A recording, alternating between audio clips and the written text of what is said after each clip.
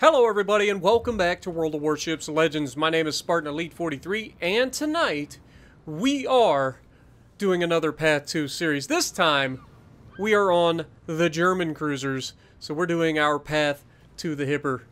And we're starting on tier 3, so let's get into the commander build.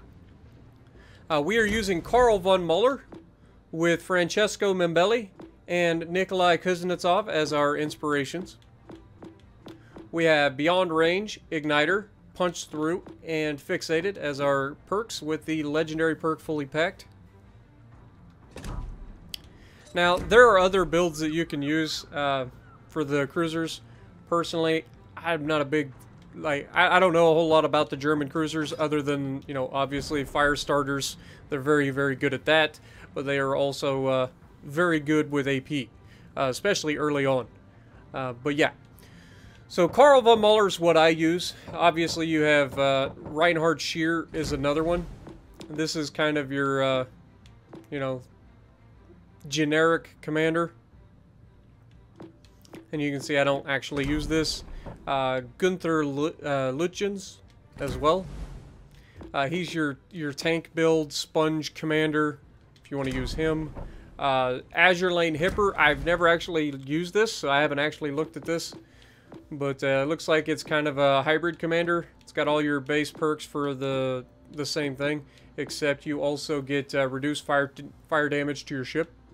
Uh, and then her extra is Vice Defense, which reduces incoming damage for cruisers as well as increases your reload time on your damage control party. Uh, so it's kind of a hybrid build between giving you the HE and AP potential as well as uh, you know a little bit of tankiness there as well with the base trait and the uh, the special perk. All right, and then of course the last one is Azur Lane Graf Spee, which her base is pocket battleship, gives you a greater amount of hit points recovered for your heals. Uh, also has all of the base level perks that you would expect uh, that you could do either build um, but it also has Fortified, which reduces incoming damage. Again. Uh, the Ghost is its special perk, which decreases your overall detectability on cruisers and uh, your air detectability. So, I mean, if you're into that. Again, this is why I don't really use any of the other commanders here, is just because they don't really have anything that sets them apart from the base. And honestly, Karl von Muller's got everything I need. So, I don't really have any reason to go with any of the other commanders. Alright, so let's get back into our build. Uh, we actually went in completely without equipment, uh, but you would obviously run Aiming Systems Mod 1 here. Uh, we are fully upgraded though. Um, we have the Alpha Tester flag. We're running all the boosters because, again, I haven't played this ship since, God, would it have been when the German line came out, so that's going to be a while. So that's why I've got all the boosters on. Uh, it's not for any other reason than that. Um, stats. 22,700 hit points. Artillery, you have 150 millimeter L45, so 45 caliber guns. Uh, you have eight of those that reach out 14.5 kilometers and reload in 6.2 seconds with 180 degree turn time of 25.7 seconds. The 180 degree turn time is pretty awful. Um, HE shell maximum damage is 1800 with a 13% chance to set fires. AP shell maximum damage is 3996. For secondaries, you have 88 millimeter L45s, which are 45 caliber secondaries. You get three of those to, reaching out to 3.7 kilometers and reloading in four seconds. They have an HE shell that does 1,000 damage maximum and a 7% chance to set fires. For torpedoes, you get uh, four dual torpedo launchers. So you have two or two dual launchers on either side of the ship. Okay. Uh, reload time 53 seconds. Um, 11,200 maximum damage with a 1.4 kilometer detectability on those torpedoes. Uh, torpedo range is 6 kilometers and torpedo speed is 57 knots. AA defense, you have three 88 millimeter L45s, which are a dual purpose secondary, and uh, they do 5 damage per second and reach out 3 kilometers. So no AA whatsoever. Uh, maneuverability. Maximum speed is 29.5 knots, turning circle of 590 meters, and a rudder shift time of 6.8 seconds. Concealment 10.5 kilometers by sea, 6.3 by air. 2 is always guaranteed, and 4.7 kilometer detectability while firing in smoke. For armor, uh, you are going to notice that we do have a bit of an icebreaker bow on, I think, all of the German uh, cruisers, to be honest. But uh, you'll notice that we have, what is it, uh, 30 to 60 millimeters so I think it's 30 right at the front and then 60 millimeters all the way down the sides.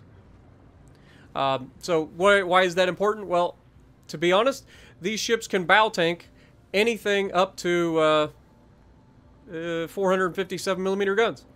So anything up to the Georgia basically can be bow tank. Now obviously that is just for the belt, uh, the bulb right here on the front, as well as the belt itself. Everywhere else on the ship will get absolutely shredded by battleship caliber guns and even cruiser guns. So keep that in mind. So as long as you bow tank and you angle well, you will be okay uh, against most things. Uh, just got to watch that. Remember, that's only the belt armor and only the bow armor. Uh, everywhere else is susceptible to being penetrated and absolutely punished. So keep that in mind.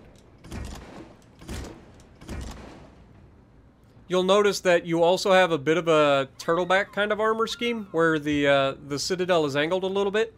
So it's not to the point of the battleships, and it's not really going to help you in most situations.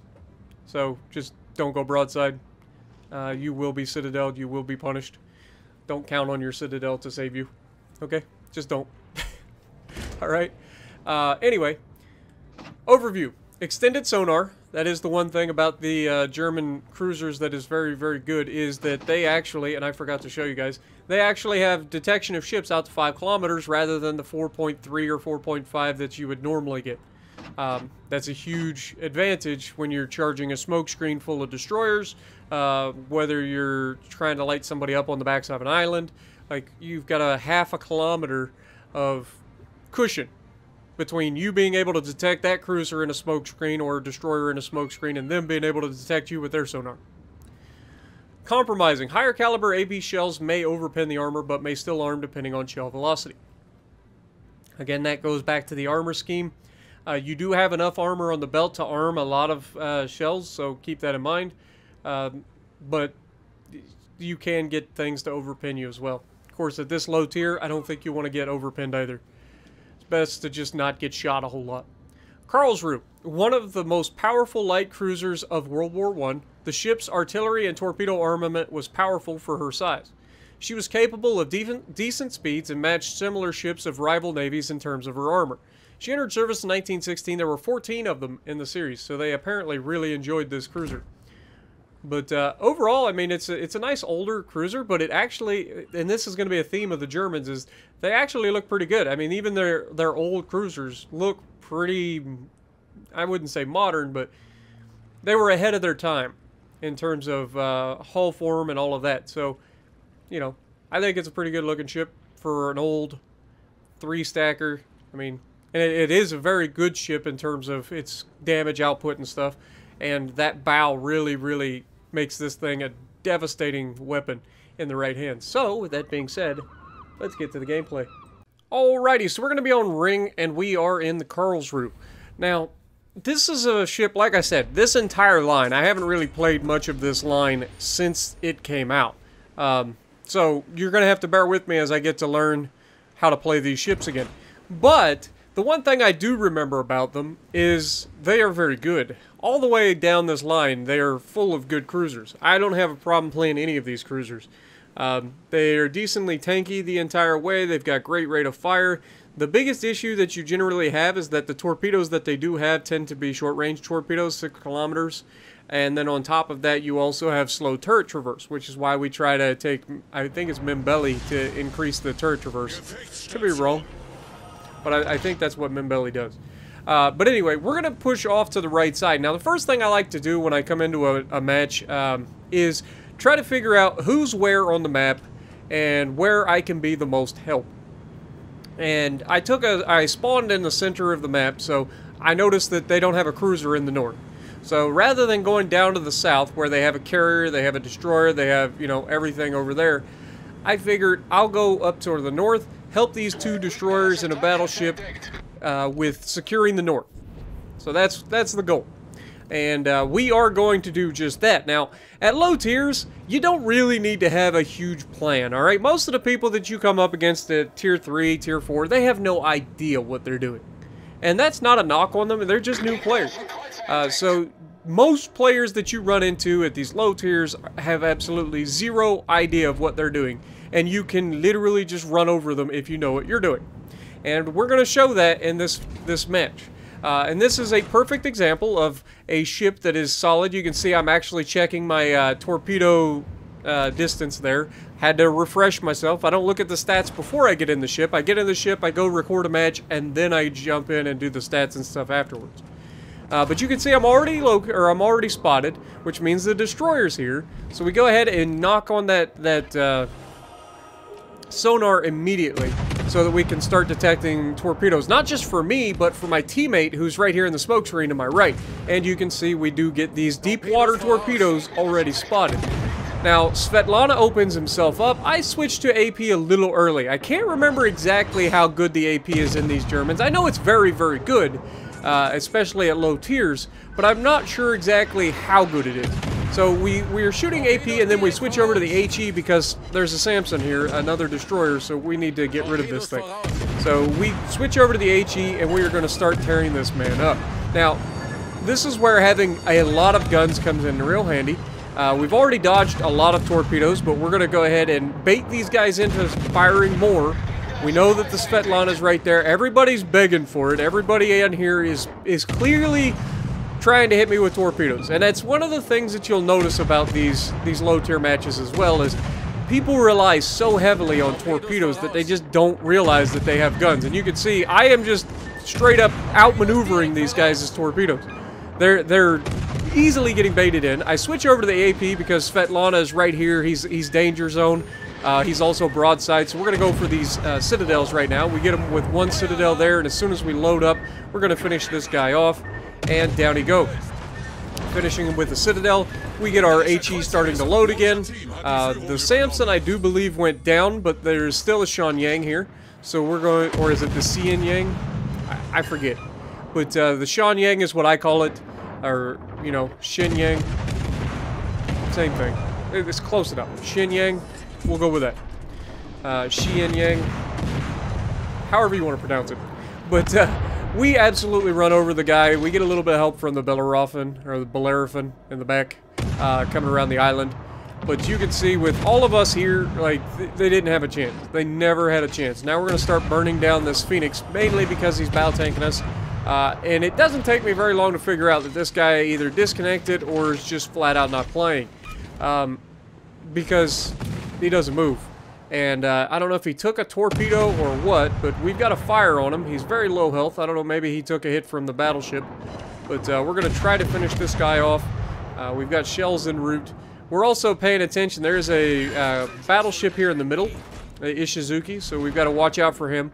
Uh, we've got the other uh, Russian battleship over there as well, who's got some potential shots at us, but he's a long ways away, so he's not the biggest threat. You can see I'm constantly trying to measure that Ishizuki up for being able to finish him off with torpedoes.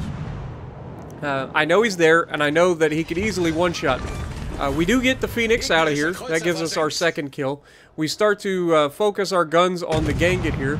and again, these are very long-range shots for a low-tier cruiser. Uh, the shells are going to take forever to get to them. So even shooting at a uh, battleship, it's going to take so long for our shells to get there. Now, uh, the Ishizuki's only five kilometers away, so it doesn't take as long. We get a double fire on the uh, the the Russian or the Russian battleship. I couldn't think of what I was saying. Uh, and he's going to immediately damage con that. We've got torpedoes out for the Ishizuki. We get a fire on him, um, and unfortunately, this guy's going to get yellow rushed by that destroyer and and kind of ruin our plans here. Um, and they're going to get killed. It's real unfortunate. But uh, notice that the Gangut is now out of range. We can't shoot him, but there is a uh, carrier spotted. And again, this is going to come down to showing, uh, trying to show the ship a little bit, and that the AP is is very good as well as the HE. So I'm going to be testing the AP at range against this Hermes as we close the distance. Now the goal is to close the distance, obviously, because we don't have very big guns. We don't have the most armor-piercing penetration in the world. Um, so at these kinds of ranges, you're not going to get the penetration you need to go uh, do significant damage. And a lot of times you're going to get shatters, you're going to get bounces off of uh, a armored carrier or a carrier. I'm pretty sure that the uh, British carriers are armored carriers, but but I digress. We're, we're using the AP. You can see I'm trying to see where we're hitting. Uh, a lot of our shells are falling short, so I've got to aim a little bit higher here. And then the carrier's not even moving. Like, dude is straight not moving. We're getting one penetration and one shatter. So it's about a 50% damage per, you know, per hit, or per shot. Um, now, most of our shots are still missing the target. And again, this comes down to not having the uh, aiming system mods 1 on. Um, at range, it, it's difficult to land a lot of good targets. Now you're starting to see that we are shattering a lot of shells on that side armor of that Hermes. But the closer we get, eventually there is a point of no return where these shells go from being okay to being oh my god. And that's about to happen very, very soon as we start to land uh, potential citadels. But you can see each one of these shells are now starting to penetrate.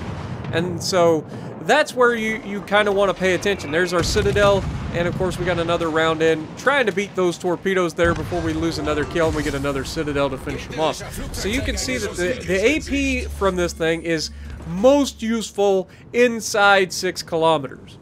Okay, now against cruisers, uh, you can get away with it a little bit, but inside 6 kilometers where you really want to use that AP in the low tiers. Uh, as you get higher tiers, the velocities increase. You can get away with a lot more. You start dealing with plunging fire being more effective. Uh, I haven't been able to utilize plunging fire effectively at low tiers, and it's probably just mainly due to the fact that it's very difficult to hit things at low tiers because everything's able to maneuver. Um, you don't have those thousand foot long ships that you have at high tiers that'll just sit there and eat penetrations from 16, 18 kilometers away. Uh, it's much more difficult to hit at low tiers at long range. But it also is a lot less necessary to do at low tiers than it is high tiers because you don't need to be that far away. You can get up in there and brawl with a cruiser. I mean, you got the DPM, you've got the guns, you've got AP and HE depending on what you're in. Uh, you usually have torpedoes at low tiers as well, so cruisers really do roll the roost. And now, Obviously, a battleship can quickly balance a cruiser at low tiers because you don't usually end up getting a lot of overpins, so you've got to pay attention to battleships. you got to keep your, your distance. And you can see right here, we're on the edge of our range. And even using as, you know, a decent lead on a very slow battleship, like we're, we're struggling to hit him at these ranges. So we're going to have to open that lead up, and you can see I did increase the lead to now over two full mils and uh, we're going to try to get some hits into him. And uh, a lot of people stick with the HE in these Germans, and the HE is very good in the Germans. You know, you get that, that quarter pin uh, HE penetration rather than the divided by 6 penetration that everybody else gets. And that quarter pin does make a big difference in the amount of damage you get. You don't need EOP. But they also have a lower fire chance usually, even though it's not nearly as bad as what happens when a, a line puts on EOP to get that extra penetration. Uh, they get theirs cut in half. Um, so, I don't know. It, you guys will have to let me know what you guys thought. I think it was a pretty solid game. Ended up with three kills, a few citadels in there, really showcasing how aggressive you can be at these lower tiers in any cruiser, but especially in these DPM monsters that are the German lower tier cruisers. And I'm looking forward to the Königsberg as well. So, let me know what you guys think. And if you like what I'm doing, punch the like button, leave a comment below, Subscribe to the channel if you haven't already, and as always, I will see you in the next video.